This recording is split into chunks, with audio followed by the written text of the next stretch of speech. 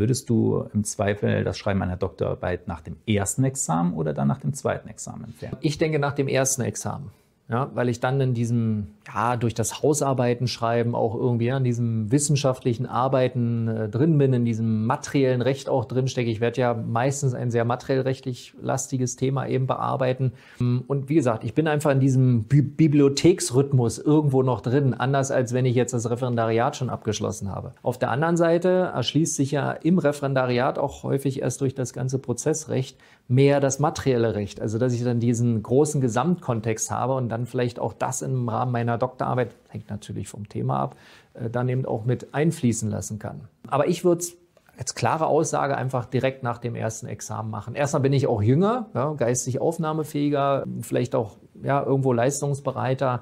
Und äh, wie gesagt, habe noch diesen Bibliothekstrim einfach drin. Ich glaube, das ist ein Riesenvorteil.